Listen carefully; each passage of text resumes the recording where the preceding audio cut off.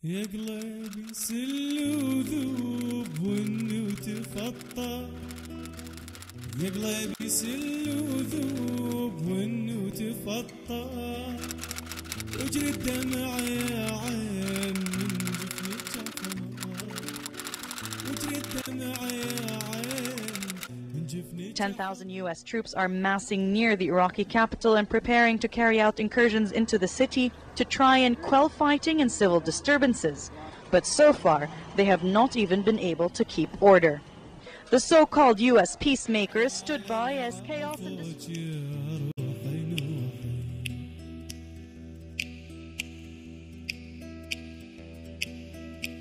والقمر تالي الليل دزيته ساعي والقمر تالي الليل دزيته ساعي يا نجمة شوف هواي نايم لو واعي يا نجمة شوف هواي نايم لو واعي نوحي As you were seeing on television, you were seeing over and over and over, and it's the same picture of some person walking out of some building with a vase.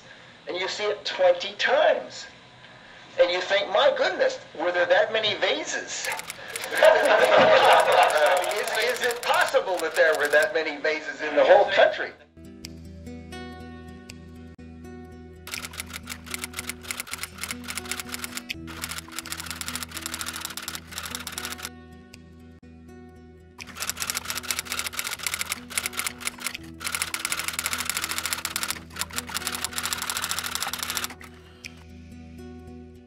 Well, one thing I know from scholars from the United States that they have warned the Pentagon about the museum, and they have even given them the uh, coordinates of hundreds of archaeological sites in the south to avoid them when the American forces would be moving up from the south to Baghdad.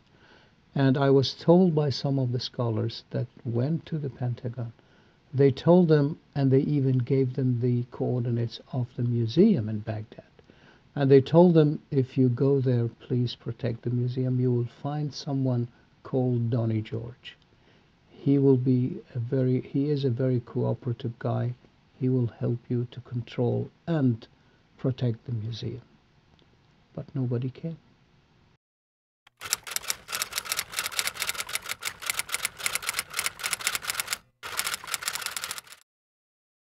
There was a tank very close to the museum. When the looting was about to start, there were hundreds of people outside the museum with toll bars and hammers and, and, and Kalashnikovs in their hands. The man in charge of the tank actually made a call and then he turned to our guy and he said, We're sorry, we don't have orders for that. And this is exactly what happened. And I'm sure of that because the same tank was one of the tanks that afterwards came and guarded the museum.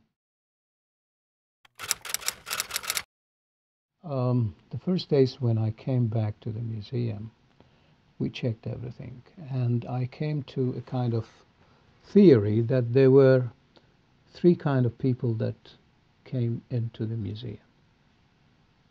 Group number one, or we call them groups. Group number one, those were the people who went into the uh, administration area of the museum. And those were the people exactly like the other ones uh, that went into the governmental buildings just grabbed everything that can be sold. Poor people, maybe. Uh, furniture, uh, computers, telephones, even switches for the electricity. They took everything. Group number two were the ones who went into the galleries of the museum. But those ones had brought with them glass cutters, which I found, uh, which I believe they were there for, with them to cut the showcases. They had good knowledge of archaeology and antiquities because it looks like they've been there when the museum was opened some time ago. Uh, this means uh, when they passed by uh, the uh, gypsum replicas we had in the museum, they never touched them. They knew these were replicas. The third group would be the ones that went into the storerooms of the museum. They went through uh, the first hole down there. They never touched anything. They went to the second hole in complete darkness and went to some boxes that the museum had stored the smallest and precious material there. Those were the uh, cylinder seals and the jewelry. And just from the cylinder seals, they took over 5,000 cylinder seals.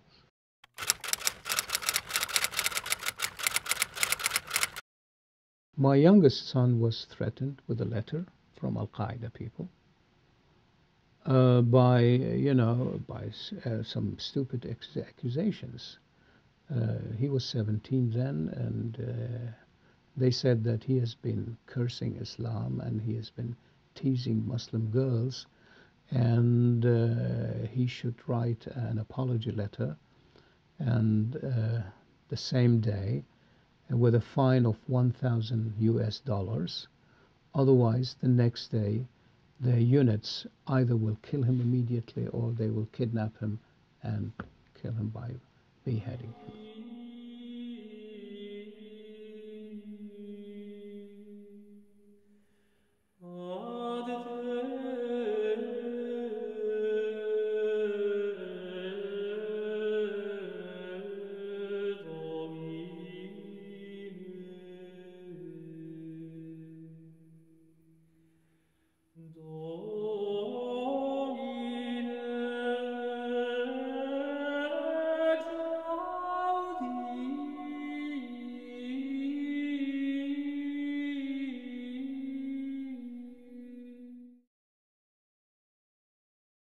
The message was uh, put in an envelope. With that, there was a bullet, and they have dropped it in the driveway of my parents in Dora.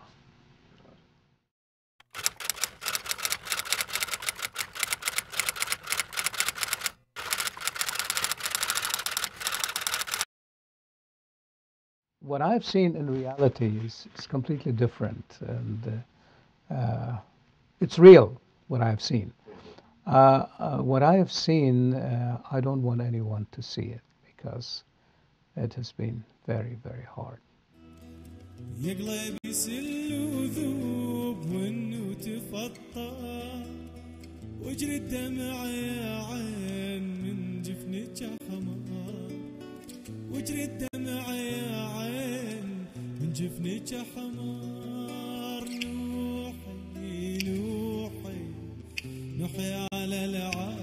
روحي نوحي نوحي نوحي نوحي على العفوك يا